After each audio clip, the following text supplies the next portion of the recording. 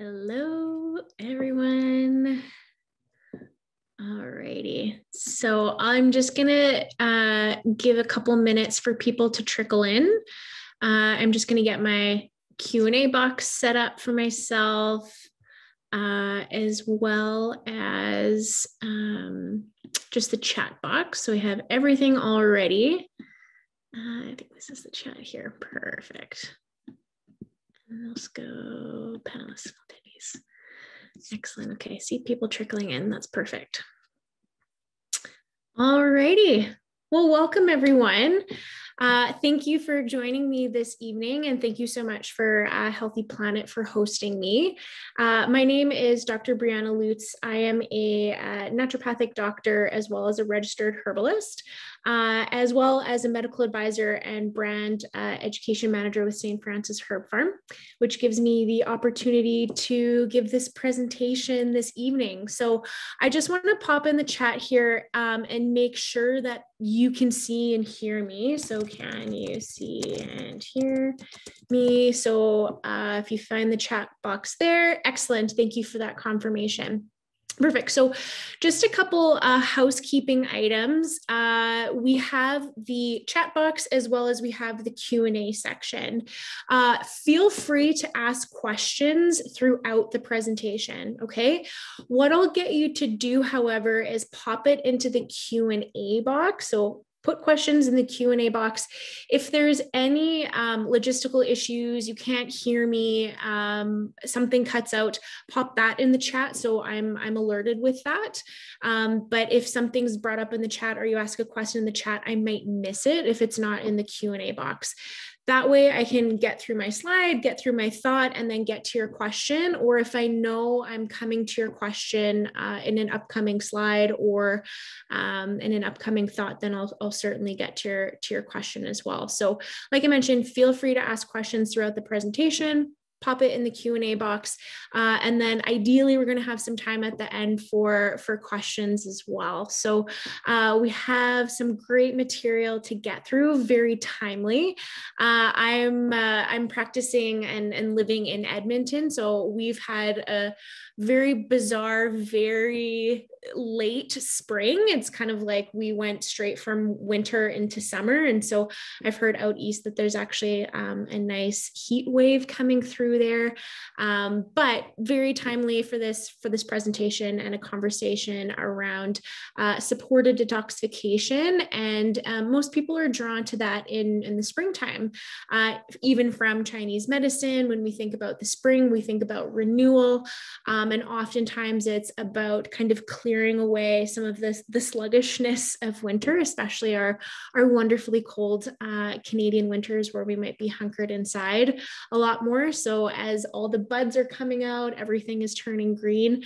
Uh, we kind of turn inward and and think what we can be doing for ourselves to give ourselves a little bit of a of a spring reset. Okay, so I'm just going to make sure I'm recording here. Perfect. Okay, so for the presentation today, just a bit of an overview. We're going to discuss our organs of elimination and our natural mechanisms of, detoxification. And this is where we're going to spend uh, a large amount of time because when we look at different interventions or things that we can do to actually support these systems, it's really to, really important to understand these different organs organs of elimination and how that is actually functioning uh, from, from a natural standpoint. Uh, and I'll go into what the difference is between a cleanse and a supportive detoxification. Uh, and then I'll mention a few products today um, from St. Francis Herb Farm, but largely I really want you to understand these different organs of elimination um, and how you can facilitate their, their function. All right. So when we talk about detoxification, it's normal to first ask like what's a toxin, what's a waste product and and and I want to really emphasize here that you're not toxic, right? I think that we have this really fearful mentality around toxicity um, and what that actually means from an internal perspective, what that means from an envir- environmental perspective, um, and to show you that your body is actually naturally uh, eliminating these wastes and these toxins all the time, but there's also means to support that a little bit more efficiently. So, from a fundamental standpoint, our body is going to create toxins or waste products.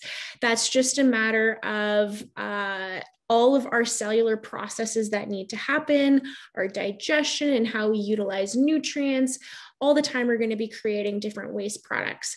Uh, so, for example, um, through cellular energy and through cellular work, we might be creating lactic acid. Uh, there's also something called oxidative stress.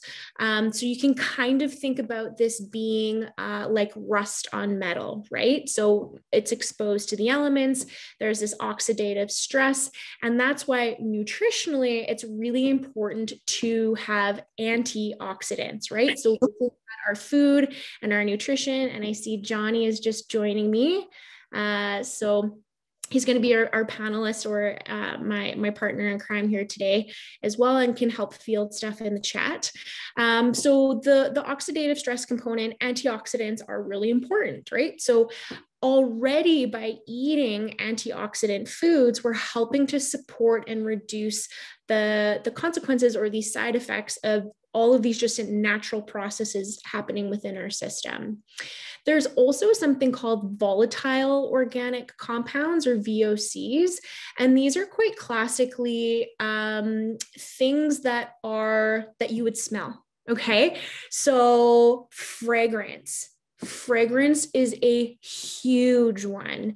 Now, what's interesting about frag- fragrance is that is it, it is a proprietary thing. And on labeling, we don't actually have to disclose what is in a fragrance. Um, so it could be any number of chemical compounds. Um, and oftentimes, or like new car smell or fragrance in uh, laundry detergent, in perfumes and aftershaves and colognes and all personal care products. And these are things that are um, quite typically. Um, hormone disrupting compounds. Um, and they're really easy to be exposed to. And quite classically, they're often fat soluble. So they like to stay in our system and they're a little bit more challenging to, to get rid of. Now, we have other hormone disrupting compounds, things like pesticides or herbicides. Um, we also see this in plastics. Uh, and, and I would say that is a large exposure of, of all these different hormone disrupting chemicals as well. Then there's different heavy metals, um, such as lead or cadmium or mercury. And, and these are things even like historic, I say historically, and this was only like a few decades ago, where lead was in paint, right? Or fuel was leaded. Um, but the more we learn about how these different things can affect our health, um, we're being a little bit more conscious of uh, eliminating those from, from our environment. Now, this can get really scary quickly. I've been to naturopathic conferences where it's environmental medicine and we're doing a whole weekend on on different environmental toxins and you're like, "Well, well what's not going to kill me, right?" So what I always tell my patients and what I like to talk about is control the things that you can. Okay, so rather than um, you know those squishy plastic water bottles, maybe we're incorporating um, you know our our more emotional support water bottles that are stainless steel, um, or we're using glass, um, and it doesn't have to be a complete overhaul of um, all of these different exposures. Um, it's about making those small incremental changes and being a very conscious consumer where you can have the biggest effect. Um, so, as I mentioned, those norm- metabolic byproducts are the normal toxins our body should normally be able to handle. So, the reason that like detoxification and cleansing has definitely um, surged forward is that we're having all of these new environmental exposures. So, we may need you know a bit of support with detoxification but we have all of these mechanisms in our in in place and our body is constantly detoxifying our body is constantly eliminating and more so it's about how do we eliminate the obstacles of how it can do this and how it can run self-sufficiently Um, there is a really great book uh, that I like to talk about, and I believe they're Canadian and Canadian researchers. Uh, it's called Toxin Toxout, and I'm just going to write that name in the chat. Uh, so in, and then I think it's Dash the Toxout cute little clever name there. I really like that. Um, and what I like about this, so this is by the same authors as Slow Death, Slow Death by Rubber Ducky, um, which I find like if you want to avoid kind of this the scaries of reading a book and the scaries of toxicity, skip the slow death by rubber ducky and then go to the toxin Toxout because I really like that they're showing these different areas of exposure of toxicity, but they're also um, incorporating or discussing different detoxification methods and also debunking some detoxification methods. So things that um, maybe aren't actually all that helpful or effective. Um, so they talk about saunas, and actually, when it comes to like VOCs, they've calculated how much with the sauna you're eliminating these different volatile organic compounds from your system. So I really like that book. Um, I do reference it in my practice when people are interested about um, learning about toxicity. Um, and we'll talk about like more sources of, of toxicity when we talk about those organs of elimination. Um, so when we talk about these different endocrine or hormone disrupting chemicals like herbicides and pesticides, I just like to make the point that St. Francis is certified organic and we do third party testing to ensure that there are no heavy metals, herbicides, pesticides, um, residues on our herbs um, because we don't want those detoxifying herbs being contaminated with all of those things. Um, it's also really important, and I get, um, you know, my patients to prioritize like, okay, where are these sources of toxicity, um, and what can you control, what can you change, right? So when we look at concentrated elements like herbal remedies, like tea, like coffee, where we're actually like diffusing and infusing those different um, constituents and compounds and ingesting them. So they're highly concentrated. So again, we're kind of concentrating um, also those contaminants. We need to be very mindful of, of the sourcing, like especially when it comes to these different um, things. So if you're looking for um, even like your fish oils or your vitamin D or any of these things, make sure you're doing um, your, your research and, and understanding like the third party testing, third party verification, even when we're talking about fish oils that they're they're testing for mercury, right? Or they're using small fish sources to eliminate mercury exposure. So all of those things make um, make a really big difference so when we talk about like uh, accumulation of these different toxins you can think about like a bucket okay so our bucket is constantly filling so this is our food this is our care products uh, our workplace exposures the air we breathe and then these holes in the bucket are our natural means of elimination right? So we're constantly going to be draining those different toxins from those means of detoxification. But if we're filling our bucket too quickly, or if these routes of elimination or these holes are too far and few between or they're clogged right? There's there's hair in the drain. We don't want the hair in the drain.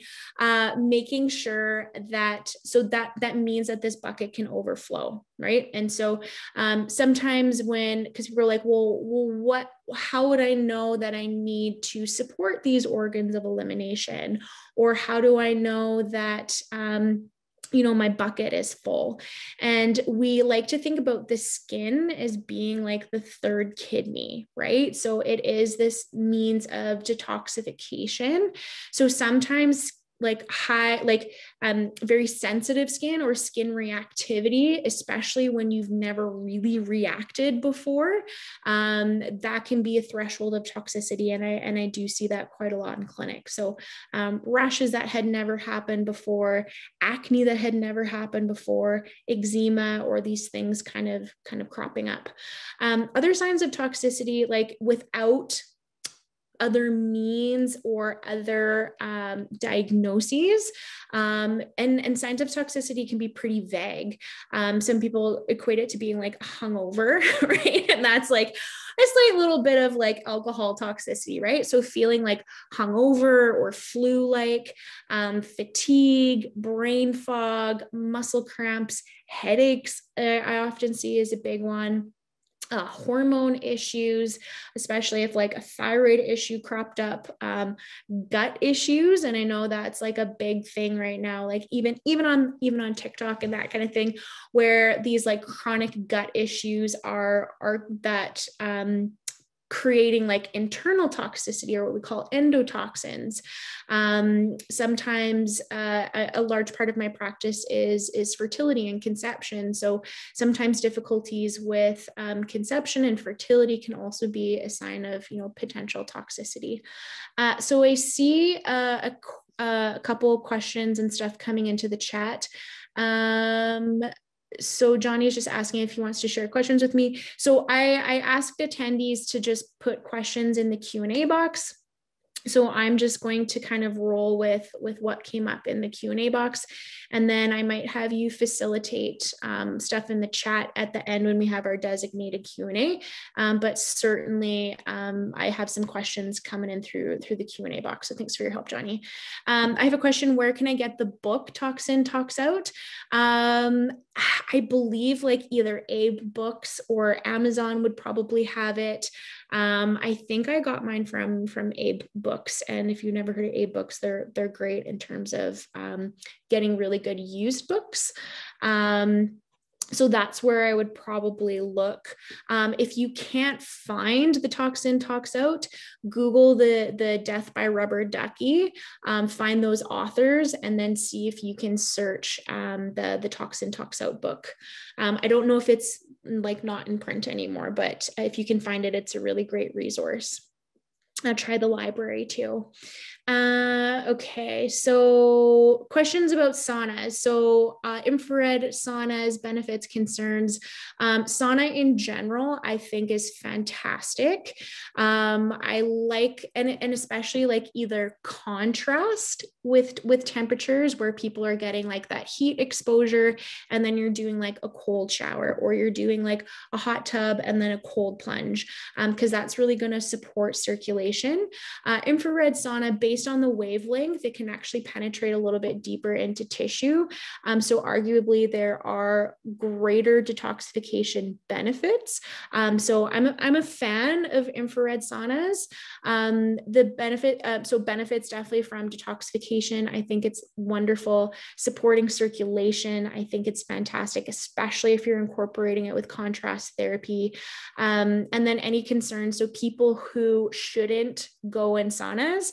Um, so um, pregnancy, I know um, sometimes we have issues with um, like overheating and hot tubs and saunas and that kind of thing. So I'd say pregnancy, um, some high blood pressure stuff or some heart stuff um, again could be contraindicated or again if somebody shouldn't be overheating um, but they should just talk chat with their doctor um, but overall infrared saunas beautiful regular saunas they're great too um, okay, so there are, so steam sauna is good for cleansing skin toxins. Uh, no, um, I didn't answer any of that yet. So steam saunas, again, great. Um, I think that it's whatever therapy somebody would benefit uh, enjoys more, right? So if it's just a straight dry sauna, um, if they're using a steam sauna, if it's infrared, um, and I would say like accessibility of of using those therapies might just be, you know, which therapy they end up going with. I don't necessarily have a preference. I think I think infrared is really nice because it there's really cool. I think they're from Costco, and you could like hook up your phone and listen to a podcast and then just sweat. And so I I think infrared saunas are great, and you can actually get like self-contained units in your house, um, or or at a clinic or that kind of thing. But I would say all saunas are great. I love them. Okay. Okay, there are some questions that are slightly off topic, but I will come back to those. Okay, so I'm just going to leave that in the Q&A box. Okay. Oh, awesome. Somebody linked the book. you are fantastic. Okay, so did I? No, I haven't gotten to the emunctories yet. Okay, so what's the difference between a cleanse and a supportive detoxification? And I think like in the wellness sphere, um, again, it's creating that um, belief that you are toxic and you are not toxic. Okay.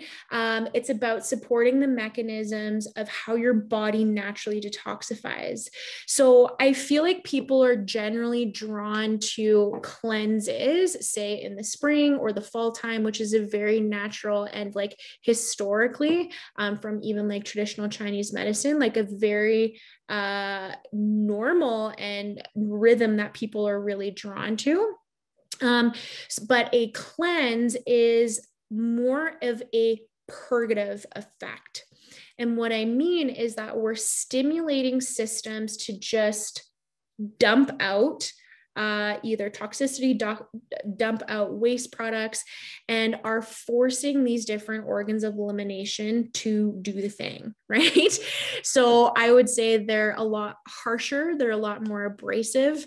Um, some cleanses that people do, um, and and also it's like very self-contained, right? Like it's it's two weeks, and you're doing this really intense cleanse um, where you can't leave the toilet for three days, right? I I don't like inflicting that on on my people, nor would I want to do that for myself. Um, so cleanses are using like stimulant laxatives or um, different things that might uh, cause your kidneys to um, detoxify and concentrate elements that could lead to kidney stones. Um, there are things that are like pushing your sweat or pushing your liver. So I I don't really resonate with cleanses. I more so look at either ongoing supportive detoxification or the strategic introduction of how best can we um, support those different emunctories um, or those organs of elimination. Okay. Uh, there's just a question Can infrared sauna deplete your minerals? Uh, yes, if you're not hydrating properly. And I would say people who um, are sweating significantly and they're not replenishing these different electrolytes then absolutely you can you can deplete your minerals. Um, so sweat making sure that we're getting either those minerals or those nutrients in our food or if some people are doing a lot more sweating that they're actually rehydrating with electrolytes and and maintaining those minerals. Okay Okay, and then there were just some links to um, the book in here, but I will I will pop them in the Q and A after or in the chat after. Okay. Okay. Uh, organs of elimination. So these are also called your emunctories, uh, but I'll I can use those interchangeably because um, organs of elimination is a bit of a mouthful. Uh, but these not our emunctories are these organ systems that are going to then create these natural forms of elimination. So, feces, like your stool, urination, sweat, your breath, which is really cool, uh, increased blood flow. Um, and this can incorporate some of the, the liver filtration uh, incorporation or um, the lymphatic and, and blood system. And what I like to make people aware of so the bowel, the liver, the kidneys and lungs, lymphatics and skin, and also the uterus, these organs of elimination are also your sources of exposure, right? right like when when we eat or our bowels are digesting and they're metabolizing and they're breaking down our bowels are exposed to all everything that's in our food right our liver is kind of like our main factory, it's our main filter system. So, drugs are metabolized down um, different liver pathways, herbs are metabolized down liver, liver pathways. Your body deals with your cholesterol. Um, your body uses kind of like your spleen and, and your, your liver for um, your like different blood products. So, again, all of the, and then the skin the skin is huge. This is an organ of elimination, but I would say arguably it's one of our biggest sources of exposure. And I would say that that is um, pe- people don't associate it as the, a source of exposure comparatively to their food, right? So they know sometimes about um, incorporating the clean 15 versus the dirty dozen, or washing your your produce in in baking soda to try and um, deactivate these different pesticides and herbicides. But they might not be thinking about that when it comes to their shampoo or their laundry detergent or those kinds of things as well. Uh, okay, so bowel, obviously your digestive system and eliminating these waste through feces. Um, and then your liver, again, metabolizing or breaking this down. We'll go a little bit more into the mechanisms of how the liver does this um, because it can get complicated very quickly. But just understanding that the liver is probably like our big powerhouse when it comes to supported detoxification. Our kidneys and lungs are actually like really, really intimately connected uh, for a couple of different reasons embryolog- embryologically, they actually developed from the same tissue in utero. Um, so they are very um, tissue similar. So this is why a lot of our lung, lung herbs actually work on the kidneys as well. Um, and when we're looking at supporting like the function of like lung and kidneys or things that we can do from a detoxification standpoint, is if we're dumping, if we're using other means of um, eliminating these toxins, such as the liver, or we're supporting these different liver pathways, um, if we're not well hydrated, again, we're not further eliminating through through the kidneys and through through the bladder and and, and urination, right? So if anybody before you do anything, before you look to um, herbs, before you change your diet, are you drinking enough water? Okay because that is going to be huge when it comes to eliminating toxins out of like the kidney kidney and bladder system in your blood. And it's also going to alleviate some constipation. Granted not for everybody. Some people have different issues that are causing constipation but fluid is needed for having really healthy bowel movement. So before you do anything, make sure you're drinking enough water. And again, sources of exposure or sources of elimination, sources of exposure. So ideally, if you're um, a drinking from glass or drinking from stainless steel, um, fantastic. Um, but if you're, I would say the biggest thing is if you're heating stuff, right? If you're heating stuff that would look to mobilize these different volatile organic compounds or these different um, like BPAs and plastic and that kind of thing. Um, so just being mindful of, of hydration there's other stresses on the kidneys as well. And I would say one of the biggest culprits of this is actually like elevated blood sugar, right? So this is why um, like diabetics, we really look at their um, their their kidney health because uh, chronically elevated blood sugar can be a really big stress on the kidneys. And then we aren't getting that proper elimination um, through the kidney system. Um, although we won't be talking about the uterus specifically, um, it is an emunctory and it is like another means of detoxification in those with the uterus. Um, and know that this um, plays into pregnancy this plays into um, preconception plans and and also too route of elimination, route of exposure. Um, so commercial tampons, I would say those are probably the things that are uh, most heavily sprayed, like or like cotton is bleached and and high high levels of of herbicides and pesticides on there. So um, switching to different alternatives, whether that be organic cotton or changing up your um, uh, menstrual product. Okay.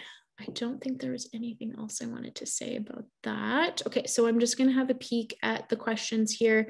Um, somebody popped uh, this link in um, uh, the the Q and A instead of the chat, so I'm just going to pop that in there. Uh, making sure. Okay, there. And then that's done. And then I'm just going to copy this, copy. Okay. And then, great. And thank you. I skipped over the lymphatic system. Okay. Okay, there's lots of questions. Okay, so I'm just going to keep keep trekking. Okay so lymphatics and skin. So i would say um, i like to talk about these interchangeably um, and, and again because they are very much connected in terms of uh, exposure and elimination. So coming out of the skin is going to be sweat obviously, um, and really, really great in that resource when it actually talks about the saunas and some of the tox- toxins or toxicity that is being eliminated through the skin through sweat. So, if you are doing any type of sauna or sweat therapy, making sure that we're having a nice shower, and it'd be amazing if you do a cold shower after um, to help uh, flush off those toxins so they're not being reabsorbed in the skin. Now, the lymphatic system, I would say, is probably one of the most underrated systems when it comes to talking about um, our health and not only from detoxification, but as a lymphatic system pertains to um, the digestive system we have lymphatic connections in our digestive system. Uh, the lymphatic system in relationship to the immune system, right? So, lymphatics is basically like secondary circulation. So, our primary circulation is our blood. So, how our heart will pump and move blood throughout our arteries and then how it will return in our veins. Now, there are um, basically like these cross connections between like our arteries and our veins, or that we call like interstitial fluid, or areas around ourselves where we can get all of this like metabolic debris. We can get all of these different waste products that are accumulating in fluid. So, when we have an underfunctioning lymphatic system, we actually don't get that waste being brought back into circulation to support uh, its elimination. So issues with lymphatics can look like, you know, water retention and swelling or fluid accumulation. Uh, if you like go for a hike and then you're like, man, my wedding ring like won't won't won't fit, or why why why are my rings so tight? Um, or standing on your feet all day, or flying, that you're noticing like that pooling of fluid or that accumulation is just showing like an underfunctioning of that lymphatic system to return this excess excess excessive fluid back into circulation for elimination. Um, what I really like about the lymphatic system, too, even as we relate it to the immune system, is our lymphatic system has little nodes, right? Lymph nodes that harbor our immune cells, right? So they're going to have immune cells. So if we're fighting off an infection, those immune cells can go into action and kill off the infection then what happens too is like, great, we fought off the infection and there are there's all this what we call pathogenic debris. So there's debris from the bacteria or the virus or the fungus, whatever that our immune system attacked. And now it's just accumulated in these lymph nodes, right? So I would say in recovering from illness, in recovering from infection, being able to um, actually look to eliminate or support that lymphatic drainage. So we're getting all of that debris out of out of our system and then eliminating it eliminating it properly. So i'm i'm getting some questions just about like how we naturally support these different things. So i'm just going to go through each organ of elimination and then we can talk about some some herbs as well. So the bowel right? Okay bowel and having regular bowel movements is very, very important when it comes to detoxification. I will not touch liver health. I will not touch uh, other mechanisms of detoxification if somebody isn't pooping and pooping every day. Um, and constipation, right? That can be classified at like you could be pooping every day, but you could still be constipated right? Um, are you completely evacuating your bowels? Like, do you feel like you have a full bowel movement when you actually go to the bathroom, right? And it's not just little rabbit pellets. Um, so, a perfect, perfect bowel movement. Um, and excuse me, my analogies are always to food. I gross out my patients. The size, the shape, and the consistency of a ripe banana, right? That is a fantastic poop, right?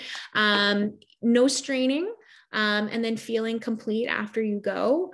Um, and then depend it, it'll be individual per person i want at least one bowel movement a day, but oftentimes it can be maybe two, maybe three, um, because our, our digestive system is a conveyor belt, right? So when we eat, we will look to facilitate a chain reaction along our entire digestive system and then trigger a bowel movement. So sometimes that's why we like uh, when people have dinner, they're like, why am I already having a bowel movement? They're like, wow, that was quick digestion. But that might have been like your breakfast or your lunch. So, um, my kind of key things about supporting regular bowel movements uh, would be I, I, call it like my four F's uh, fiber. And I see a question about um, psyllium husks or psyllium fiber. I love psyllium. I think it is a fantastic fiber that you can look to help to, um, you know, concent- concentrate your bowel movements. And fiber is going to be really important when it comes to actually like almost taking like scrubbers along your digestive tract um, to help to eliminate these different uh, waste products in your bowels. Um, so that's my first F. So fiber. And that's not just insoluble fiber like psyllium or your metamucil. This is coming from your fruits and veggies. Okay.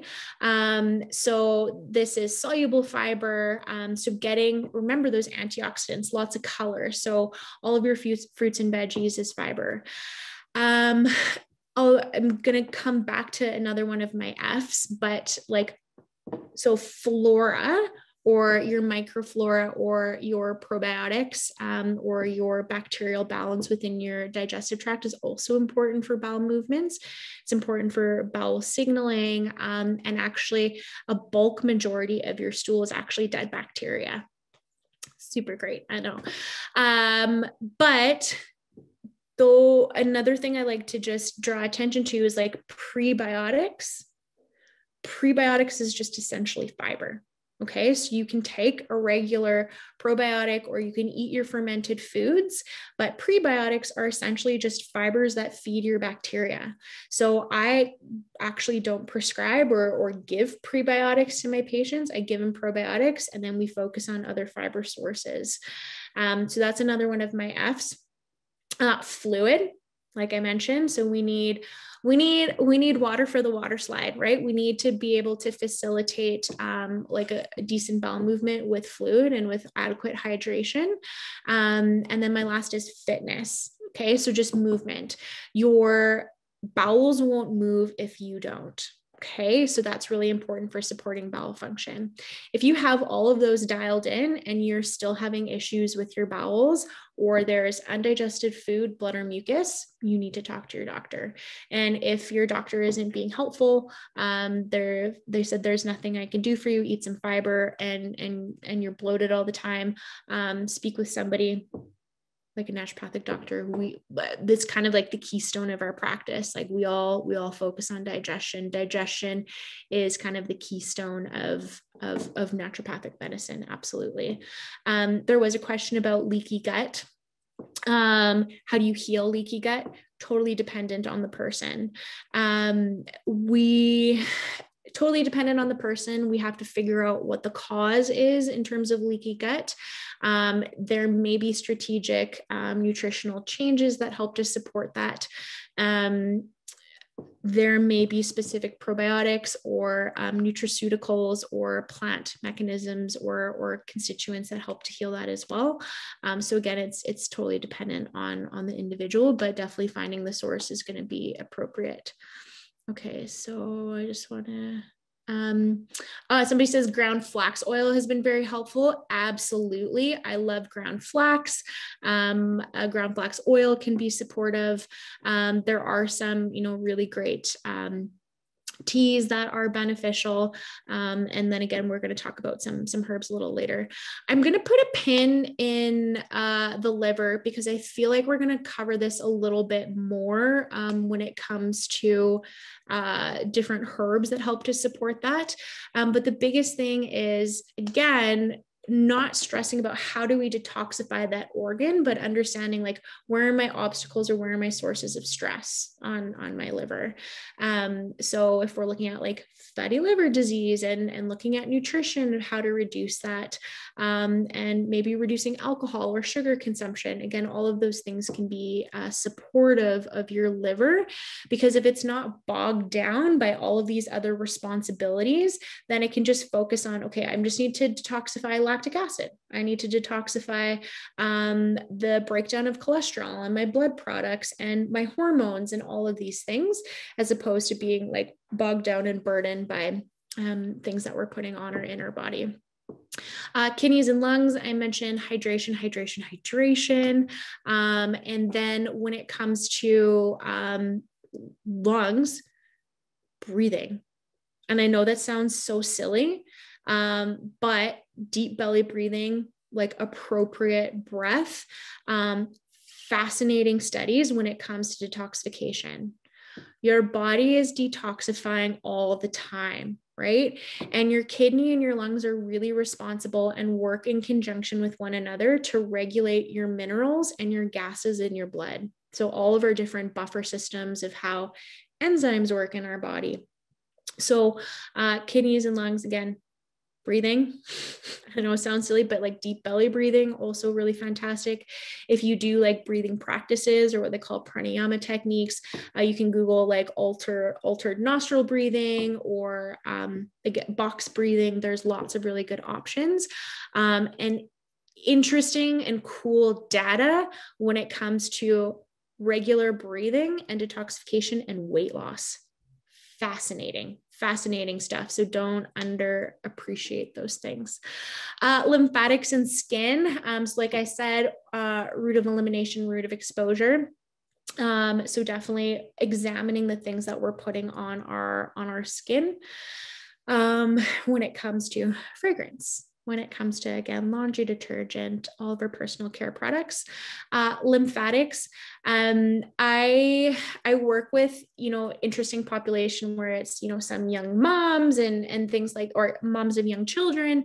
And uh, sometimes like physical activity or being like you need to exercise 30 minutes a day um, to to move your lymph. So i just tell people move your lymph every single day. So for some people that that is going to be you know cardio or or activity. For some people um, that might be like getting a good sweat in in whatever way possible. So maybe that is a sauna. Um, maybe it's contrast therapy. So i'm like if you have time to shower sometimes moms don't but like if you have time to shower at the very end turn turn it down to cold. And that contrast in and and always ending on cold but that contrast in temperature is what is going to support recirculation to the skin. And and and so that recirculation is kind of acting like a pump in the lymphatic region to help to flush out that that system as well.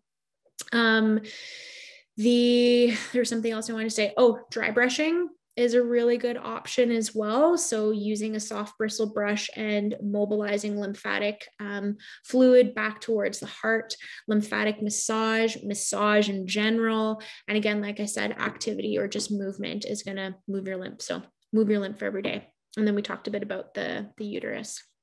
Okay, I think before I, I jet into um, some herbs, so I just want to be mindful of time here.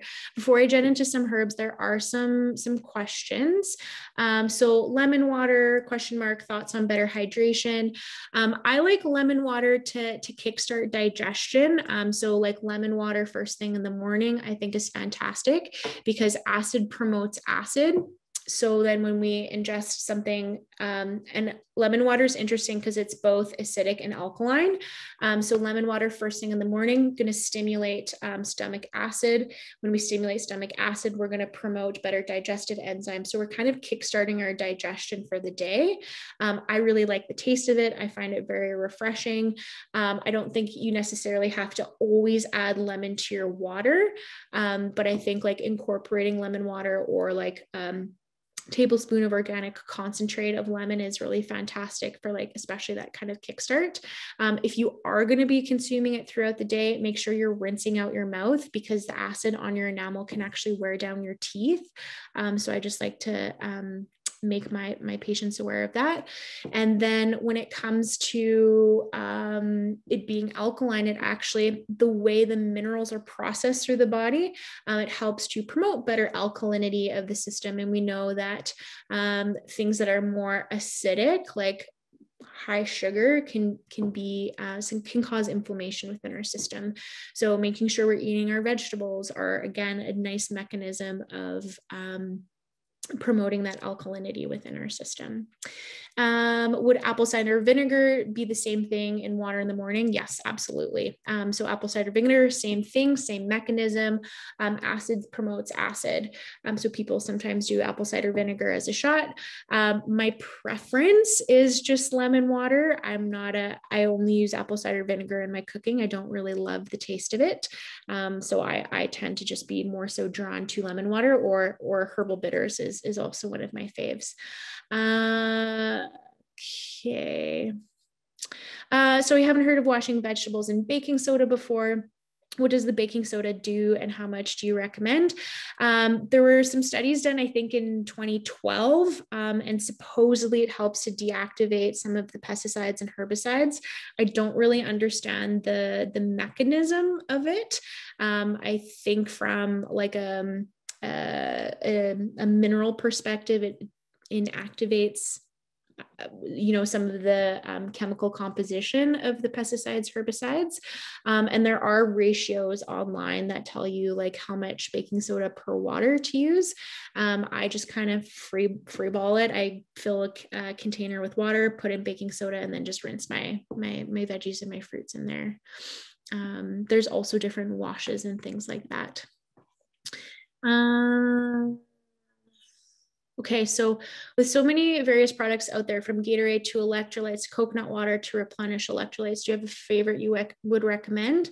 Um, not really. Like I would say um, a lot of the like I don't really love like the the Gatorades and like the prefabbed um, stuff because even when you look when you look at the product and it's like this neon blue color, it looks cool. I don't really want to be drinking that.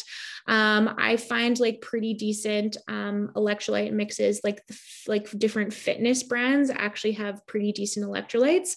Um, and we're looking at potentially like some magnesium, some calcium, some potassium. Again, we're some sodium as well. Um, so finding a really balanced mineral composition um, and making sure there aren't like a tiny ton of junky additives um, some people really love the the Nuun um, products. Um, personally, I don't have have a favorite. Just whatever works for people. Sometimes people like the fizzy things. Um, some people just add um, you know sea salt uh, to their water, or there's different. There's again different like uh, natural aids or like a, a natural Gatorade version online too. But um, yeah, I don't really have a brand preference. Um, Okay, uh, leaky gut, I answered that. Uh, so, what if your kidneys are not working properly to eliminate? How do you detox? Great question. So, that's why we have all of these various organs of elimination. So, when the kidneys are under functioning, uh, that's when we look to other mechanisms of how can we eliminate fluid from the body. So, I would say sweating may actually be a really good option for some people. Again, chat with your doctor because sometimes people with kidney issues have associated cardiovascular or health issues that may again may mean they can't do certain therapies. But definitely sweating is going to be important when when kidneys are under functioning. Um, and then remember how your kidneys are really linked to your lungs. So looking at your lung tissue right? So how can we breathe and uh, look to detoxify that way? Mm. Uh, how long would you suggest staying inside a barrel sauna? Is there a limit? I have no idea what a barrel sauna, sauna is. I have never heard of that before. Uh, my husband and I do approximately 20 minutes every weekend and sit outside to naturally cool the body. That's cool. I find a lot of like more intensive sauna therapy. 20 minutes is around the time that people are targeting for. Again, some people have to build up to that heat tolerance. They may only do five minutes um, one day and then kind of work their way up. If you're getting he- um, lightheaded, uh, or you find that you're almost getting like heart palpitations, or you can feel like your heart rate increasing significantly, um, or to a dis- uh, uncomfortable level, um, I would say that's probably too long. But again, that that contrast of um, you know sitting outside uh, especially in the winter or doing like a cool dip or a cool shower is is fantastic but I've never heard of a barrel sauna i don't know the um, the technology behind that. Uh, so, what if my fingers are always swollen? Uh, there may be an issue with fluid accumulation. So, um, we'll talk a little bit about some of the herbs that might be helpful. Uh, what are some of the best ways to help a toddler poop? Uh, depends on the age, depends on the um, where you're at in food introduction. Um, but I would say definitely like fibrous foods uh, and puree based things, prunes can be really helpful. Um, and if it's like a really bad issue um, with constipation, um, herbal recommendations uh, like RestoraLAX off the shelf, um, or if there's, um, you know, working with a practitioner who can recommend specific herbs for your kiddo and the, and the dosage for that, um, there's, there's also options to get them pooping more but remember my my f's those are those if you're focusing on those four f's you'll fix a lot of problems. Um, do you think that colon cleanses can be part of a healthy cleanse or necessarily Oops. oh i was playing with my airpods. Can you still hear me Yes, we can still hear you. Okay, okay, excellent. I know my AirPods connected. Like, okay, perfect. Okay, so um, do you think that colon cleanses can be part of a healthy cleanse, or are they unnecessarily and potentially even harmful? I would say it depends on the colon cleanse. Um, there are some uh, herbs that don't that some individuals should not use, um, and so and I don't tend to recommend stimulant laxatives or herbs that then create a bowel dependency, right? For me, it's all about how can I eliminate your obstacle to healing and how can I eliminate um, your how can I support your body's natural way of being, right? And what I really want to get across is that you have everything you need, right? Unless you have a disease or a pathology that inhibits these different processes, your body is detoxifying all the time. And it's just about making sure we're not filling that bucket as quickly. And how can we support these organ systems from a lifestyle perspective, or if we're looking for a bit more supported detoxification, that we can accomplish it, it that way. Um, so potentially, yeah, they can be harmful, especially if there's um, um, lots of bowel inflammation. Um, somebody could be at risk for sepsis, which means um, bacteria can enter into your bloodstream and then it becomes a blood infection. Um, again, I'm, I'm talking about like worst case kind of scenarios, but my, my preference is just like that support um, supportive detoxification um, and not creating a dependency um, so people need to take something for for the rest of their life uh, okay, so I'm taking medication. How safe is it to use herbs to cleanse or detoxify at the same time? Uh, well, we're going to talk about some herbs. Um, the best thing with any type of medication, the the um, cautions and warnings on our labeling is actually quite good. Um, Health Canada has really strict um, guidelines on on labeling and things we can or cannot put on labels. Um, but if it's ever in question, please always consult your doctor. And I can't speak to every medication or every case or every herb. Um, so speak to somebody who understands medication and understands botanical medicine, and um, naturopathic medicine is a nice bridge there. Okay. Uh, what are your thoughts around taking Relaxa to promote bowel movements? Uh, is that a trade name of something? Relaxa? I don't know if that person is still on I don't know the mechanism of relaxa. Um, if relaxa is a there are different um, laxatives called osmotic laxatives, which basically means it pulls water into the intestinal tract to facilitate a bowel movement. So, this is something like um, RestoraLAX can have this effect. Um, there's also like magnesium citrate can have this effect. Um, so, when people talk about, oh, I can't take magnesium, it always makes me poop, um, check the format. It might be the citrate because citrate as a molecule is going to pull um, stuff into the intestinal tract uh, or pull water into the intestinal tract to facilitate a bowel movement. Um, but I'm not quite sure with Relaxa. That might have a different trade name. Uh, hi, Dr. Brianna. Oh, I yeah. just I just searched it. It's it's an osmos osmotic laxative. Yeah, yeah. And then somebody just popped in the chat, RestoraLAX. Yeah, yeah, yeah. RestoraLAX is an osmotic laxative. Yeah. So it's going to pull water into the digestive tract. Yeah. So that was just a typo. No problem. Uh okay.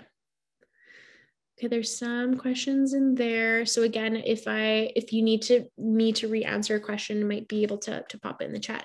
So what I'll do is I'm just gonna go through a couple herb products and then we'll leave some time for questions, um, especially some of the ones that have been popping up in the chat that Johnny might be able to, to help me um, field or anything that I missed.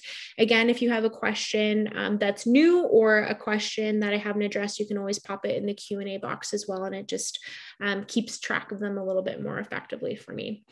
Okay, so milk thistle, I would say, is probably like the holy grail and like one of my favorite products when it, one of my favorite herbs when it comes to supported detoxification. Now, milk thistle is going to work, it does have other me- plant mechanisms, but one of the primary actions is that it's going to support liver function. And one of the coolest things about the liver, it has the capacity to regenerate itself. We can actually create new liver cells. So when we look at milk thistle and some of the studies on, on supporting liver health, A, it helps to tonify and support the liver. Um, and what I mean by that is that it actually helps to regenerate liver cells. Um, it is a fantastic antioxidant for the liver it can reduce fibrosis in in the liver or fibrotic tissue. Um, it could i don't i'm not sure if i said it reduces inflammation at the liver level. It is a fantastic antioxidant at the liver level and it's going to be supporting um, detoxification or several liver pathways. Now we have multiple stages of liver detoxification and milk thistle is going to support the liver as a whole. And then I'm not, some people may have heard about like glutathione, and glutathione is like a big buzzword in um, uh, detoxification and uh, anti aging or aging gracefully, however you want to classify that. Um, but milk thistle actually helps to regenerate our own production of glutathione. Super cool. So, glutathione will work on different phases of liver metabolism and glutathione is one of the most like potent antioxidants that we make right? We make glutathione right? Um, so milk thistle is a means or a way to um, help support that. Milk thistle is also very gentle and very safe. Um, milk thistle um, is meant to or can be taken uh, long term so I really like it that way. Um, and then milk thistle is uh, the the nature of the constituents or the nature of the different like fatty acids and that kind of thing in milk thistle um, need an extraction component. They need a solvent. Um, so milk thistle tea not super effective. Like you would have to crush and concentrate, and like it, it's laborious, um, very, very hard to extract those constituents in a tea. Um, so we're either looking to use an, an alcohol as a solvent, so making a tincture, um, or we're looking at like a concentrated um, capsule, um, such as ours. We have a, a really nice five to one and by using this solvent or using this extraction component, we're gaining that valuable, what we call a silymarin complex. So, silymarin is the active ingredient in that. Um, so I have, oh, thanks, uh, thank, thanks for staying. Uh, and uh, I, I, know this is recorded as well. Um, okay, so milk thistle can be used all year long. Um, like I said, it's very quite safe and quite gentle. Again, you can always consult with your physician if you have certain medications, especially medications that use different liver pathways, um, that there is a theoretical interaction with, um, but few and far between. Um, uh, contraindications that I really come across. I'd say like the biggest um, caution and warning is if people are allergic to to that plant family. But uh, so I really, really, really like milk thistle. Uh, so HepatoDR, HepatoDR is a formulation um, that is a synergistic multi-herb formula to support liver detoxification. So it is hinged and relying on everything that we talked about when it comes to milk thistle, um, and then its active constituent uh, silymarin. Uh, and it has other what we call hepatic or liver herbs, uh, such as dandelion, such as globe artichoke, which you can see the beautiful um, picture on the package there. That's globe artichoke, um, Oregon grape, and wild yam. So all of these herbs are looking to support the various pathways of how the liver detoxifies, and they also promote the production of bile. So bile is a natural product that we make in the liver concentrates in the gallbladder and then is released when we have food, right? So um, bile is really helpful for digesting fat. But as a secondary um, supportive thing for bile is that it can help with detoxification. So um, really fantastic and supporting our natural metabolism or breakdown of our hormones. So um, like I said, I work in, in quite a bit in women's health. So if somebody isn't necessarily metabolizing or breaking down their hormones as effectively, um, and we're seeing issues with either like hormonal acne or we're having issues with um, heavy menstrual bleeding or painful menstrual bleeding um, it might be based on that we're not properly metabolizing those hormones and they're just kind of coming back into circulation and having like an amplified effect. Um, so hepato-dr really fantastic formulation. Um, and if somebody was looking to do uh, so this can be taken long term. Um, if somebody was wanting to do more of like a supportive detoxification. They're like okay it's it's springtime. Let's just do um, again a little supportive detoxification uh, for like you do one round you do one bottle or you do a couple rounds or a couple months. Um, i think that's also totally appropriate. So some people um, might do this like four times a year um, kind of like with every season change or some people are using it more long term because they have those underlying difficulties with detoxification. So um, maybe somebody who does struggle with hormonal issues or acne or or things like that, where we might or or they don't have a gallbladder, so we need some some extra bile support, um, or issues with digesting fat, that kind of thing. That hepato-dr, you know, might be um, you know another thing that we um, uh, utilize. Okay. Uh, yes, I'm seeing that you're sending me questions. I'm just quickly going through the the products, um, and then I'll um, I'll get to your question. So I'm sorry there. Okay. Um, I know I'm I know I'm going over time, but uh, I'm just going to wrap up these products quick, and then I'll I'll I'll, I'll stay on additionally for some questions. So castor oil, castor oil is fantastic when it comes to increasing local circulation and amplifying this internal organ function and looking to kind of like flush the tissue.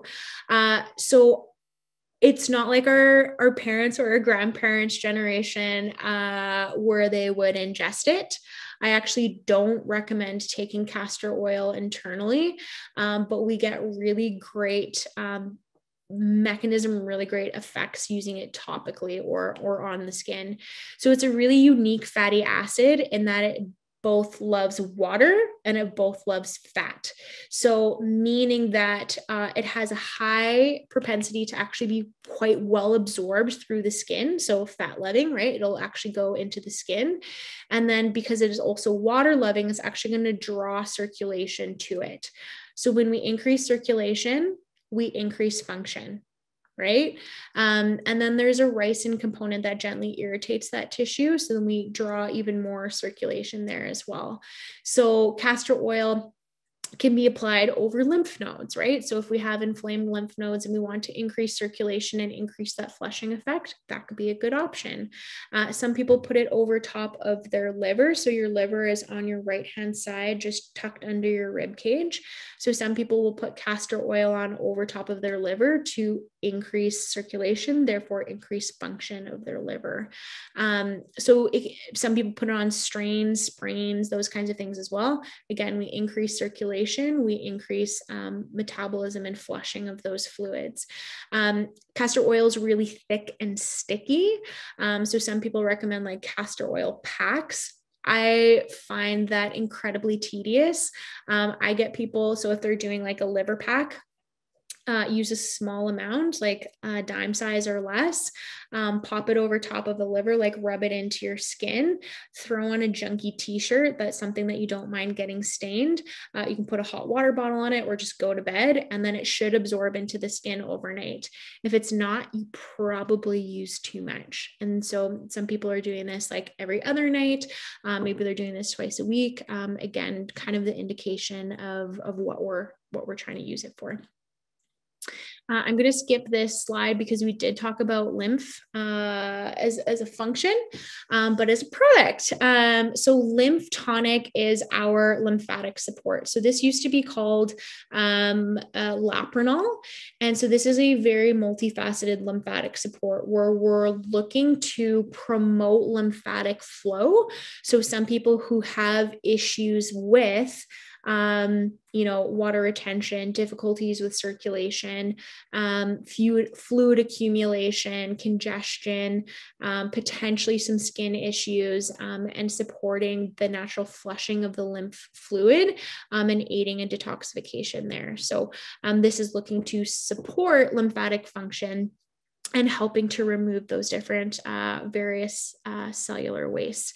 Um, this one does have um, a few more contraindications with it. Um, and so I don't typically recommend this long term, or if you are using this long term, making sure that you're consulting with somebody who's familiar um, with these products, like a herbalist, nutritionist um, the, who has extensive herbal training or, or naturopathic doctor. Because, um, like I mentioned, there are a few um, uh, immune related disorders or um, things that may contraindicate use for this. Um, and so if you are, I, I do recommend it, this being more for like the supportive detoxification. So you could actually use it alongside of the hepato-DR. You could use it alongside the, the milk thistle but then you'd be rotating it. So um, maybe it'd be like one bottle and then you take a two week break. Um, again, kind of working with somebody if you are looking to support that long term, but otherwise you could certainly do it seasonally, again, like two to four times a year, especially if um, your, your Achilles or your issue um, is, it tends to be uh, more, more an issue related to um, the lymph system and and the reasoning that i'm saying like more contraindications and things like that associated with it is that some people with lymph issues or appears to be fluid accumulation issues are related to more serious conditions right? Related to kidney issues related to heart issues. So making sure that those things aren't are are being addressed appropriately and that we're not actually interfering with any medications or or treatments for you. Um, clear glow is more uh, so it is a bit of a lymphatic support but it's also what we call alterative in action where it's a lymphatic but it also works on another organ of elimination such as the liver. So burdock is a really fantastic herb in here. So we're getting detoxification of the lymphatic system detoxification of the of the liver and oftentimes it's really really supportive or beneficial when it comes to issues with the skin. So uh, mild acne, eczema, psoriasis, uh, again, that this could be a really good option uh, for support. Um, and again, a few contraindications there. So, uh, like I said, our um, labeling is really good there, or just consult with somebody um, who could recommend these products. Okay. All right, so I know I, am over time. I apologize. Um, I wish to respect your time. So I want to come back to questions. Um, but before you jet off, I just wanted to say thank you so much for attending. Thank you be, for asking such great questions.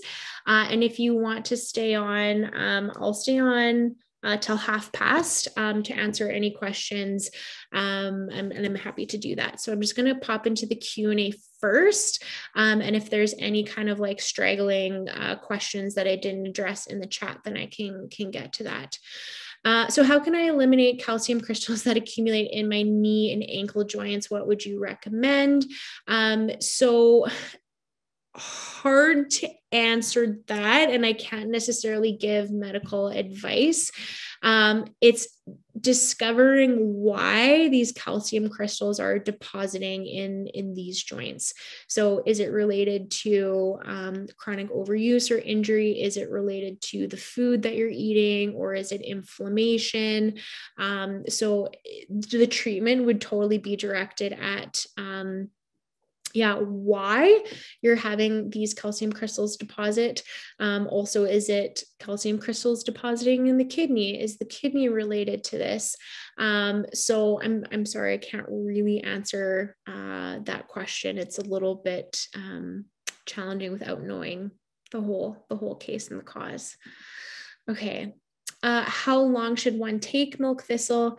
I would say minimum a month, right? So if you are just looking to incorporate milk thistle either as a su- supportive detoxification um, or kind of seasonally look, looking to support overall liver function, um, for me, I'm I'm typically recommending it like if we're using it to support a certain condition, um, say like we're working on acne and we're incorporating other mechanisms of supporting or reducing acne breakouts, I might use, use it for three months consecutively and then be reassessing if that's the most appropriate treatment for them.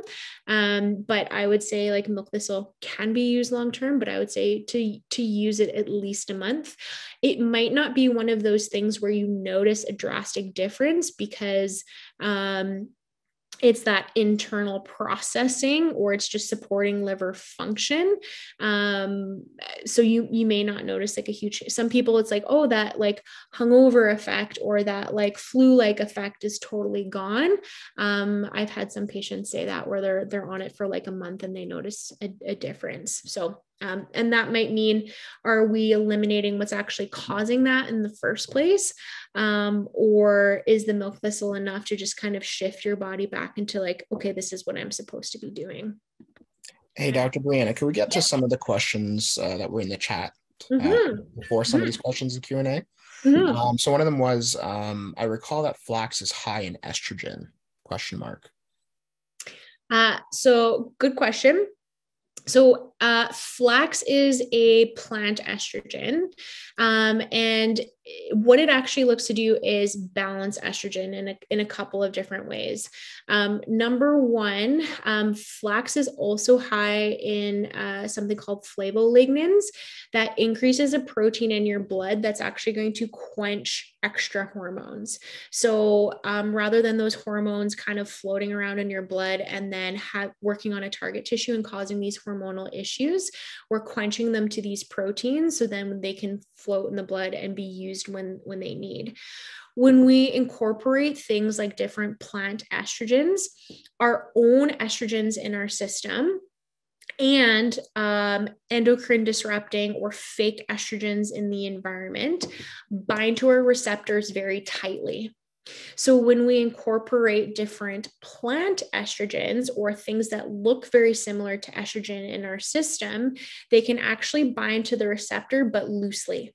So, what it does is if we have a lot or too much estrogen in system, it blocks the more potent estrogen from binding to that receptor or if we don't have enough estrogen in our system, the flax can actually bind to that receptor and then have a, a lowered effect, um, but also a significant effect when it comes to um, estrogen action within the body.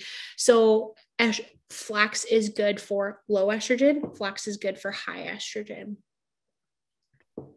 Uh, next question A few drops of lemon oil does it do the same as lemon juice in the water? Um, so lemon oil is a it's a very like lemon essential oil is a very concentrated volatile oil. So you're not necessarily getting the acid from lemon that still has that acid promotes acid um, incorporation when we're looking to upregulate digestion. When you're using lemon oil um, internally, uh, mostly volatile oils work to calm the digestive tract. So if there's like spasming or cramping or like intestinal pain or bloating, then they can alleviate that. Um, similarly to other volatile oils like um, fennel and I'm, I'm, more so talking about in teas as opposed to essential oil. Um, so that could that that's how the the lemon oil would work internally. Personally i don't um, kind of across the board i don't recommend essential oils internally unless i have a very specific purpose or reasoning to do that. And oftentimes it's killing it's killing stuff off it's killing off, off bacteria or yeast or fungus um, as opposed to like using it to support digestion because volatile oils can can kill off our, our um, digestive flora. Uh, my mother has lots of mucus, post nasal drips as well. Most comes from dehydration and some types of food. How to help her that has more than seven years suffering? Yeah, uh, lots of mucus. So the body is going to lay down mucus in response to inflammation right? So mucus is the body's protective way of laying down uh, a means to protect inflamed tissue. Um, there are certain foods that are what we call mucogenic or create mucus. Dairy is a food group, unfortunately. I know we love cheese. Dairy is a food group, unfortunately, actually promotes or creates mucus in the body. So singers, actors won't, won't have dairy before a scene or before a show. Um, so the biggest thing is like what is causing or triggering the inflammation so sometimes it's different food sensitivities that can be um, a mechanism of that. Um, postnasal drip or allergic rhinitis or things in allergies. So i'm suspicious that there's some type of unaddressed allergy uh, whether that be food whether that be environmental.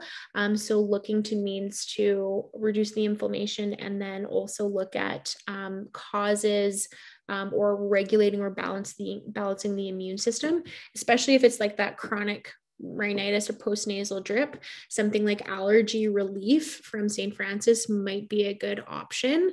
Um, but again, it's figuring out that that trigger. Um, I think this question goes back to um, bowel movements in children. So, a three year old and prunes aren't helping. Can kids take bitters? Um, depends on the bitter. Like I wouldn't necessarily recommend like the Canadian bitters formulation. Um, there are some more mild bitters, like chamomile is actually a, a fantastic bitter and it stimulates something called the migratory motor complex. So that could be useful. Um, RestoraLAX or those different osmotic laxatives can be supportive. Um, and then yeah making sure like if the fiber's there making sure the fluid's there but it might be um, either an imbalance in bacteria or an underfunctioning thing that is is triggering the the motility response. So it could be you know a pr- probiotic component that might be useful. What about detoxing for acne? Oh acne is like the hardest. Because acne can come from digestion acne can come from your hormones acne can come from that like liver congestion and lymphatic congestion um, uh, congestion that we talked about. Uh, acne can also be from um, altered microbial balance on the skin. Um, so if somebody has kind of um, ruined their their acid mantle on their skin with like unfortunately like harsh sh- stripping um, uh, products that people with acne are usually put on. Um, detoxifying for acne, I would say like Clear Glow might be a good option. Um, you might look at like milk thistle long term because milk thistle can also support um, uh, that protein that floats around in the blood to help bind those excess hormones. So sometimes there's like kind of a dual benefit there. So I'd say milk thistle or the clear glow might be a good option. I have constant digestive problems, heartburn, always every day after food. Sometimes I feel like ferm- fermentation and blogging my stomach. Mm. What can I do to help? Okay. Uh, bitters might be a good option. And I know it's like slightly counterintuitive with um, uh, that it that bitters will actually promote acid production. Sometimes people with heartburn, it's less about that they're producing too much acid and it's more about that they're not producing enough to actually get the closing of um, that that muscle on top of their of their stomach and supporting digestive function with like creating better you know stomach acid digestive enzymes to break down those foods or that fermentation um, that could be useful. Sometimes it might be related to a condition called sibo or small intestinal bacterial overgrowth where like literally you have too much bacteria and they are fermenting and it feels like there's that fermentation process um, so that would just have to get uh, worked up but you might be able to incorporate you know a digestive enzyme or you might be able to utilize bitters to actually promote better um, digestive health uh, there's three questions on milk thistle uh, okay. so one, one um, if you have liver disease can you take milk thistle um, can we use milk thistle all year long? And is milk thistle something that should be used in low doses as a preventative or support supplement? Yeah. So um, I'll answer the dose and the timing question. So dosing, um, like dep- depends on what we're trying to accomplish. If it's kind of just a low like a like a maintenance thing you're doing that long term you can stick on the lower end of the like reference range for dosing whether that be um, the the capsule or the tincture. Um, and like i said it can be used long term. I don't know if there was another question around the the time frame if you can clarify johnny if it can be taken like all year yes yeah, all, all year long all year long. Yeah absolutely. It can be taken all year long. Um, and then people with liver disease depends on the liver disease. Um, and if they're on like any medications or things like that um, actually really good studies in um, supporting liver regeneration and reversing fibrosis. So whether that be related to um, like liver fibrosis whether this be related to chronic um, hep b and c um, infections that are then affecting the liver so I can answer definitively depending on the condition and depending off their if they're on any other medications, but there's been pretty serious or chronic health conditions that have been improved with milk thistle. So it might be something that they ask their doctor about if they can incorporate.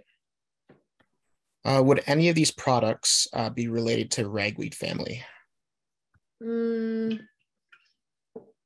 Uh, I don't I'm trying to think if milk thistle is in no milk thistle is a funny one. Um I would double check with the um the lymph tonic because there's a lot of herbs in there. And um, I don't know if there is another one from a ragweed allergy. And the um, I can't remember what plant family milk thistle is in. Uh, I feel like it's um, Asteraceae actually, so I don't think it's a ragweed issue. But for the allergies, I think we're pretty good about putting it on on the label. So I would just verify and double check. Yeah. If someone is low in adrenal, can one go on liver detox? Um, with low adrenal function, I, and this is why, like, I like to clarify between cleanse and supported detoxification. When somebody has altered or decreased adrenal function, we don't want to be pushing other systems, right? So, a really stringent cleanse is not going to be supportive for adrenal function. A supported detox, like putting somebody on milk thistle, absolutely that would be totally fine on on lowered adrenal function.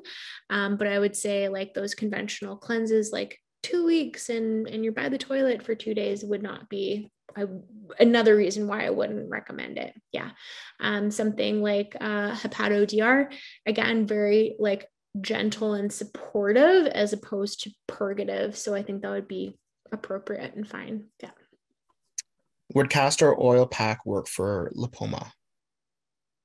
Uh, yes, I've had some good success with lipoma um, and making sure that it is um, been assessed like it's not any like liposarcoma or there's any um, cancer risk or that there are any issues um, with that issue if it's like a fatty accumulation um, lipoma is different like skin like those kinds of things um, castor oil is totally fine is castor oil good to rub on your leg if you feel swelling from sitting or standing too long? Is it okay if you have varicose veins? Varicose veins, yeah, yeah. Um, fine to rub on legs if it's been swelling too long. Um, the sometimes it's based on the accumulation of the lactic acid. So it might be looking at how do we support the lactic acid removal. So it might actually be looking more so at liver health. It might actually just be even like fatigue of the muscle, right? So it might be even like magnesium or something is is a bit more supportive. Um, sometimes if the body isn't capable of dealing with that lactic acid and then we're promoting that um, detoxification or uh, increase in function with the castor oil uh, may make it feel a little bit more achy, right? Um, yeah, sometimes people can overdo it with the castor oil. So looking at why you're not moving that lactic acid. Uh, the question is, will this help with shingles? I'm not sure what product that was referring to. Yeah, I don't know at what point the question was asked. Um, uh, any of the products, just thinking with shingles, um, shingles is a viral infection of the nerve. Um, so, the biggest support for shingles is going to be um, treating the virus and supporting the immune system. Uh, once the infection is mitigated, that might be something that we use like lymph support, right? Where we're actually mobilizing and um, taking away that um, debris that's associated with um, the infection. So um, I would say, yeah, heart. Those would be product recommendations or or what not to take too. What are the four F's again? Uh, so four F's for your feces or your bowel movements: uh, fiber, fluid, fitness, as in you have to move your body, and flora, as in bacteria. I heard there's a difference between supporting the liver with milk thistle, for instance, and drain liver ducts where stones can form. Is that right? If so, what can we do for bile ducts drainage in liver and gallbladder? Yeah. So, good question. The milk thistle is going to support overall function, and more so, we're seeing it from like the detoxification standpoint when we're looking at like bile and like liver and gallbladder with bile production, it's more so related to the digestive system and digestive triggers. Um, so when people have either like sluggish bile or gallstones or accumulation, um, I'm would be potentially utilizing something like hepato DR that is going to support um, regular bile production and flow. That might not be the case for some people with gallstones that you can actually I, I don't necessarily want to mobilize gallstones, but definitely supporting bile production um, for more of like sluggish or sludgy bile, um, hepato-DR would probably be my go-to. But I don't do a lot of gallbladder flushes. That is not that's not something I do in practice. Uh, is is hepato uh, safe to use for people on medication? Uh, it depends on the medication. Some medications are metabolized through the kidney. Um, some medications are metabolized through different liver um, pathways. So, um, again, you'd have to speak to your prescribing physician or somebody who's familiar with the, the mechanism of elimination. Sometimes, and again, depending on the type of medication, it may be simply that you're taking them at different times.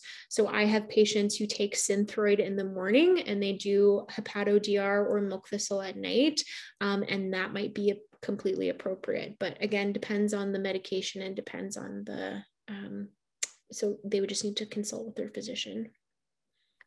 Would any of these products help for adult postmenopausal acne?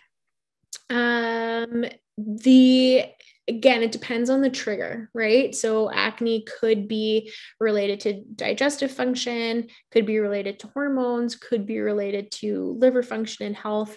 Um, possibly the hepato DR or even like the clear glow um, may be beneficial with postmenopausal acne. Again, if we think about like the milk thistle, um, milk thistle may have more benefit when it comes to like um, a lower estrogen state. It can work kind of similarly to flaxseed, um, not necessarily as like a true plant estrogen, but it can have very similar effects in supporting or balancing estrogen levels. Um, so I would say milk thistle, hepato-DR, or clear glow might be a good option. Are lignans in flax okay for men trying to boost testosterone and muscle mass? Um, yes, I I think that um you would have to take a lot of flax to actually uh, sequester or render testosterone in men to um, that that significant of a level. Um, if you're doing like therapeutically like two ta- like two tablespoons of flaxseed a day, uh, you shouldn't have an issue with your um, testosterone in in in your gains and things like that. No. Um, I had asked about colon cleanses. Thanks for your response and good info, but I was referring to colon flush, colon hydrotherapy, and wondering if that really helps to detox and mm. cleanse the colon, or if it is necessary or even dangerous. Um, I some people love them um, and find them hugely beneficial.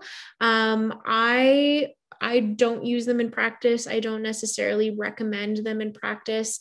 Again, the the contraindications or the dangers of doing it would be more so if somebody would be susceptible to infection or there's digestive inflammation.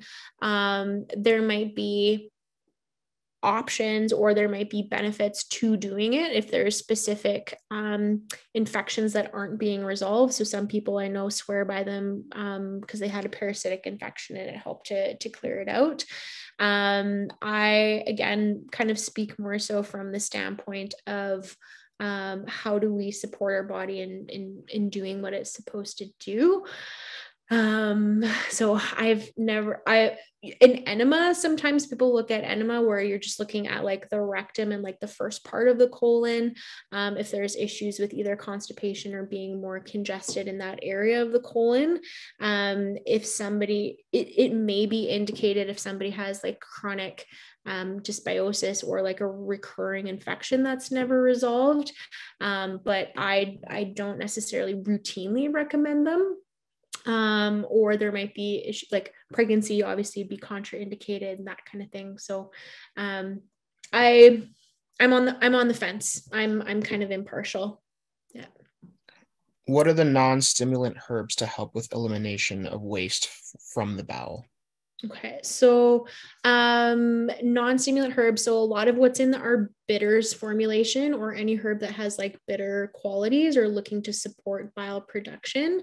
Um, things that we're more so seeing like dependency on are going to be like your your um uh, your cast like your sennas and those kinds of things where you can actually um, create a reliance to that and then, oh, sorry, you ask the next question.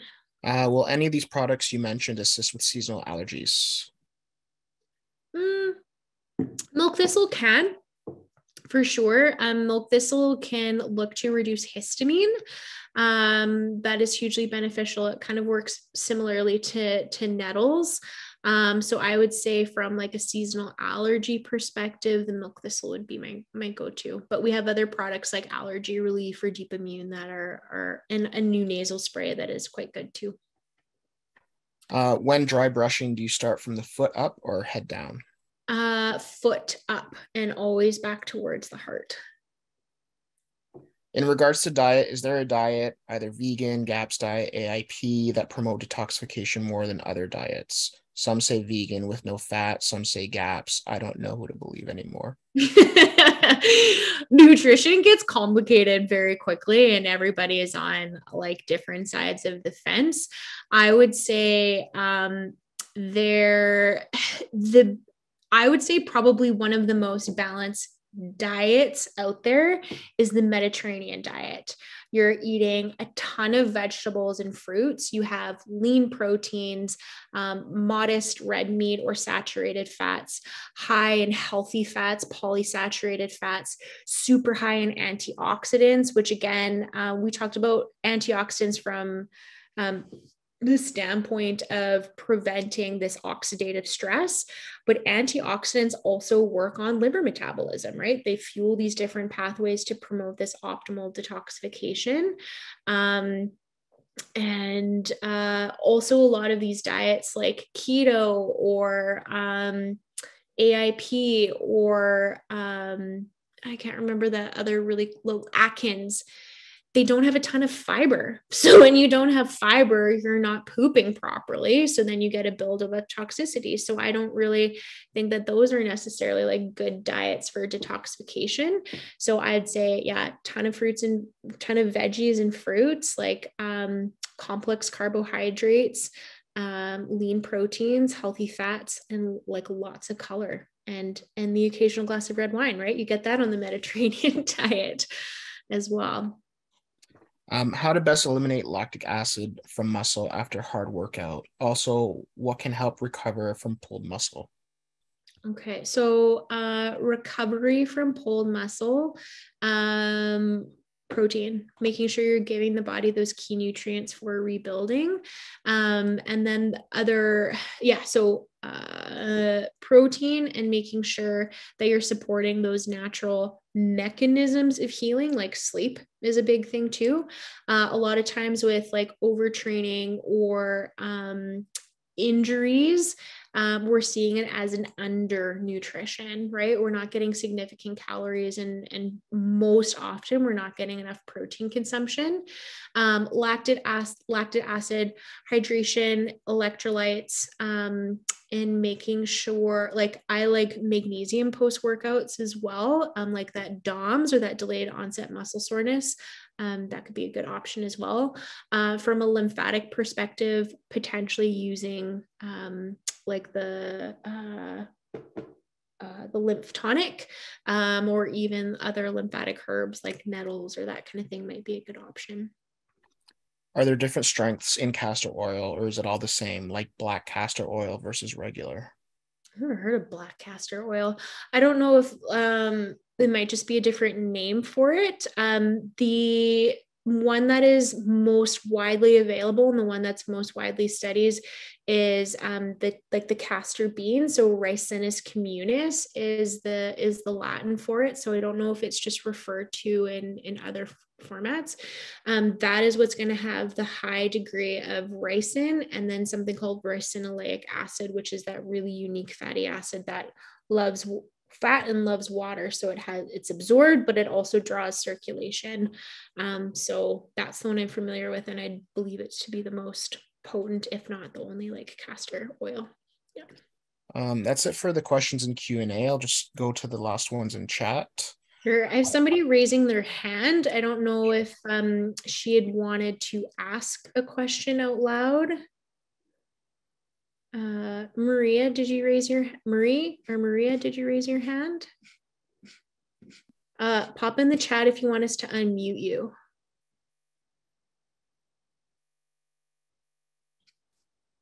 I don't know if the hand is still raised. I'm just trying to find my participants here.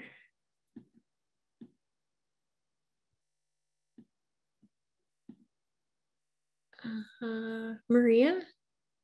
Maria, are you okay if I unmute you?